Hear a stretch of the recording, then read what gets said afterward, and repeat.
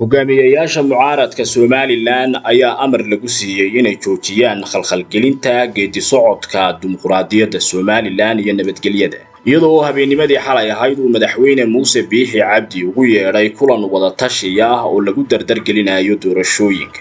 Hase yeeshee wadatashi dheer kadib xilli saqdii dambe ahayd ee xalay ayay ku gacan saydheen kulankaasi waxayna ku xidheen la kulanka madaxweyne muuse biixi cabdi shuruudo safiirka waddanka ingiriiska ah oo isaguna beesha caalamka wakiil ka ahaa galabnimadiina ah la qaatay kulamo kala duwan hogaamiyayaasha mucaaradka. Ayaa waxa uu u sheegay saddex qodob oo digniin iyo amarro isugu jiray. Warbixinteennan ayaynu ku soo koobaynaa wararkii ugu dambeeyey. Hogaamiyayaasha mucaaradka somalilan oo ganafka ku dhuftay go'aankii guddida doorashooyinka ee somalilan sida oo kalena ah la tuhunsan yahay inay ku howlan yihiin falal nabadgelyo darro oo jamhuuriyadda somalilan iyo deegaamada ay ku abtirsadaanba aan dan u ahayn. Ayaa aqbalay ugu dambayntii inay galaan doorashada ururada iyo asxaabta badan hase yeeshee waxa ay ku andacoodeen sida ilowareedyo hoose ay noo xaqiijiyeen.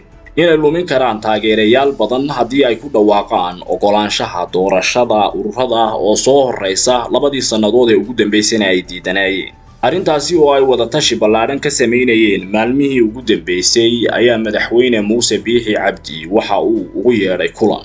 Kaasi oo lagu dardargelinayay doorashooyinka habsami u socodkooda iyo sidii loo ilaalin lahaa nabadgelyada iyo xasiloonida jamhuuriyadda somalilan waxaase ku wehelinayay kulankaasi ururada siyaasadda ee dhowaan uu ku soo biiray saaxada siyaasadda ee somalilan hogaamiyayaasha mucaaradka ee somalilan oo weli isu haysta inay yihiin xusbiyo qaran ayaa waxa ay sheegeen in aanay la soo fadhiisanayn meel urur siyaasadeedyada somalilan ee wakhtigan xaadirka ah u safanaya.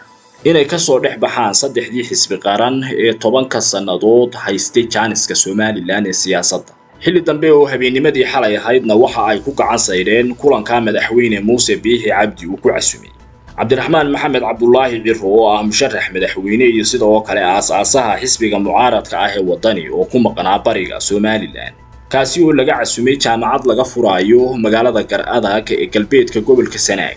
Ayaa dib ugu soo noqday magaalada hargeysa si deg deg ah iyada oo ay beesha caalamku ku amartay inuu la kulmo safiirka ah waddanka ingiriiska kaasi oo siiyey digniino iyo sida oo kale talooyin mustaqbalka siyaasadooda u wanaagsan. Waxaana kow ka ahaa inay aqbalaan doorashada ururada iyo asxaabta badan oo si nabadgelyaha ku galaan iyo sida oo kale inay joojiyaan qalalaasaha iyo nabadgelyo darrada ay ka abuurayaan deegaamadooda haddii ay luku leeyihiin qodobka saddexaad ee uu soo jeediyey wakiilka beesha caalamka ah ee somalilan ku sugan ayaa waxa uu ahaa. Inay u hoggaansamaan dastuurka iyo shuruucda ay ku heshiiyeen shacabka jamhuuriyadda somalilan kaasi oo uga baahan ixtiraam weyn.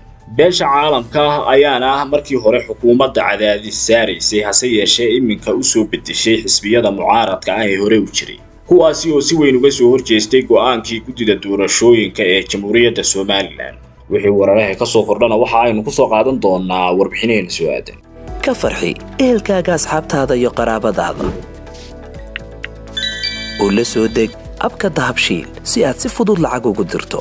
Marka aad la soo degto ablicathonka dahabshiil ee aad lacag ka dirayso isticmaal koorka khadmad la'aanta ee tree free oo kuu sahlaya in saddexda jeer ee ugu horreeya ee aad lacag dirayso aan wax khadmad ah lagaa qaadin dahabshiil howlfudaydiyahaaga maaliyadeed